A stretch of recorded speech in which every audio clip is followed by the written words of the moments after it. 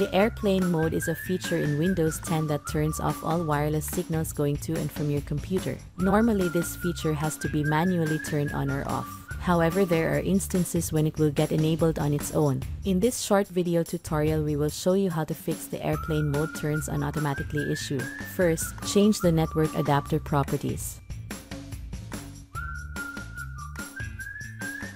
To do this, right-click on the Start button. This is located on the lower left side of the screen. Then, click on Device Manager. This will open the Device Manager window. And then, click on the forward arrow before Network Adapters.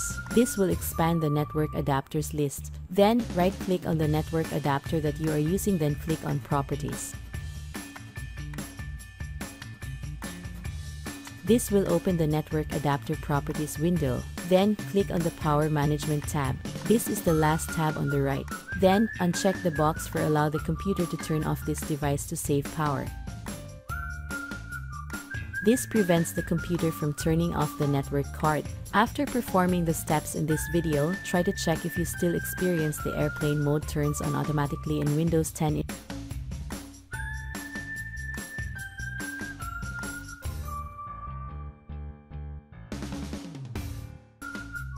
Next is to update your network driver. Another possible factor that can cause this problem is an outdated network card drivers which is why you will need to make sure that you have the latest drivers installed.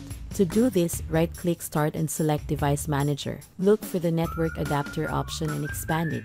Right-click on Network Adapter and click Update Driver. Then, click Windows should automatically search for updated driver software. An online search will start for the driver to be updated. Next, restart your computer once this is done. I hope that this guide has been helpful. Please support us by clicking like, share, subscribe and hit the notification bell for more troubleshooting videos.